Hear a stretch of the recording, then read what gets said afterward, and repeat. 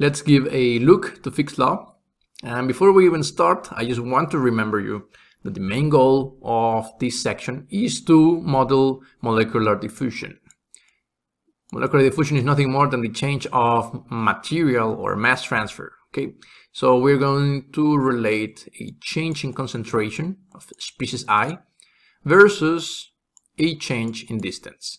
So we are talking about more to the profile in distance rather than how it changes with respect to time. Okay, and the very first law was established in a very basic concept. Isothermal, we didn't want to have any problem with thermal uh, or let's say heat transfer uh, theory.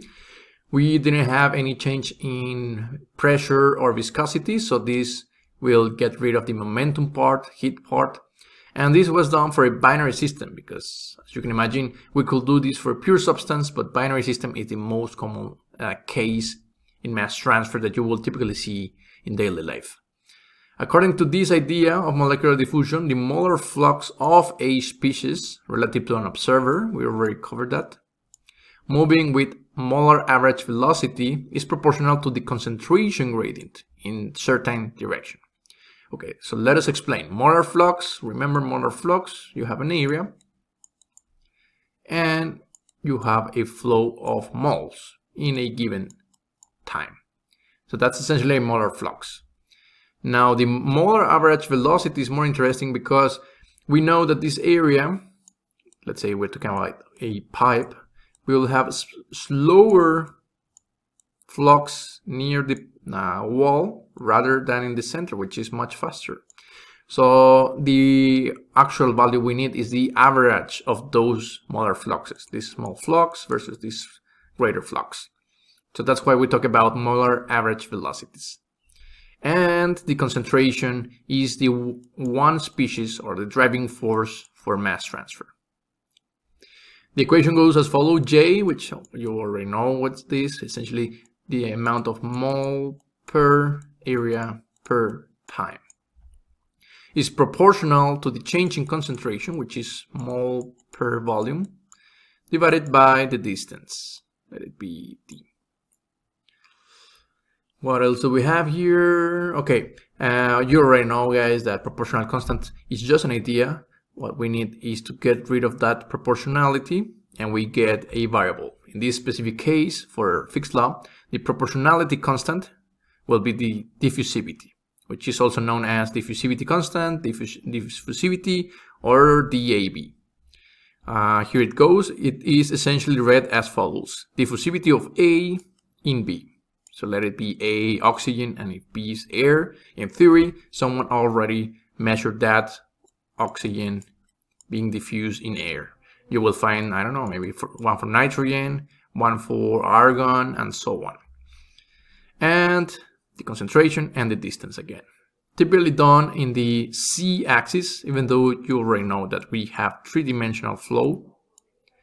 This will be z, the one which we are used to we have x and we have y. So technically speaking, we have dCA dy and dCA dx. This will be three-dimensional diffusion, which of course is not the scope of this course, but in theory we have so. And as you can imagine, the equations will increase in number in order to fully satisfy Fick's law in three-dimensional flow rate. Anyways, talking about the specific case of, I don't know, a simple case, we have A here, we have B here. If we were to measure the flow of A, let's go from left to right, you can use this expression. Why do we use a negative sign? Because we have a drop in concentration, meaning that actually if you measure, I don't know, point A and point B, we're talking about high concentration of A, we have low concentration of A here, and if we were to make a typical delta, it will be a smaller number minus a larger number, which will always give you a negative sign. So that's why we use a negative sign, so negative and negative becomes a positive sign. And this is, of course, just a reference value. Later on, we are going to see that you need to actually know the, uh, I think it's pretty similar to heat that you know that temperature flows from high temperature to low temperature. So if you have something or some equations that don't make sense, that you see heat is flowing from low temperature to high temperature, maybe you want to check out your signs. And we will see this later, but for now you can assume that the diffusivity of A in B is pretty similar to that of the diffusivity of B in A. And the assumptions of Fick's law or Fick's model is, first things first, it's isobaric, so the change in pressure is near to zero. You should not expect large viscosity changes, even though you will have them because concentration is changing. Isothermal, meaning that the change in temperature is also zero. We have it at a fixed temperature. We will assume no chemical reaction. We also assume the diffusivity constant is well, as the name implies, constant through all the uh, way of diffusion and all the time and does not change with concentration, which of course we're going to see later that that is not always the case. For simplicity, we will assume one dimension, actually the z dimension. We will apply this mostly to dilute solutions because you know dilute solutions are typically ideal and for steady state, meaning that time does not make that much of a sense right now. Okay, guys? So that's Fick's law.